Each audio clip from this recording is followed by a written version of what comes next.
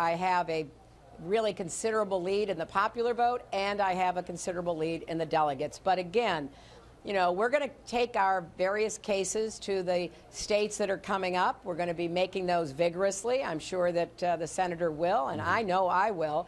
And we're going to be drawing contact, uh, contrasts. You're going to be hosting a uh, a debate on the uh, 14th, which I'm really looking forward to. Senator Sanders' campaign manager, Jeff Weaver, said something very interesting, uh, inflammatory on our air here, saying that, you know, the Clinton campaign, Secretary Clinton, they need to be careful not to destroy the Democratic Party merely in pursuit of her own ambition to be president.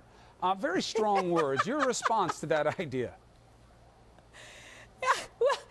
I mean, it's just ludicrous on the face of it.